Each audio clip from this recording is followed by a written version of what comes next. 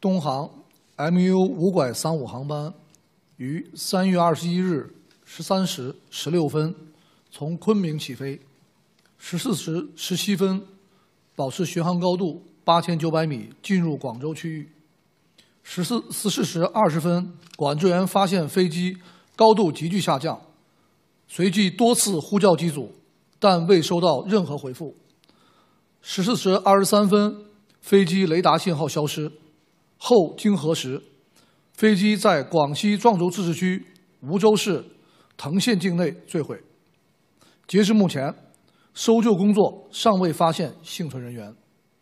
公安部门已对现场进行封闭管控。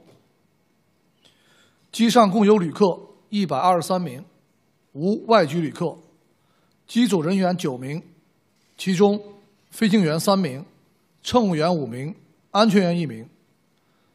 事发飞机为波音七三七八百，二零一五年六月二十二日引进，截至事故发生时，共飞行八千九百八十六架次。总计一万八千两百三十九小时。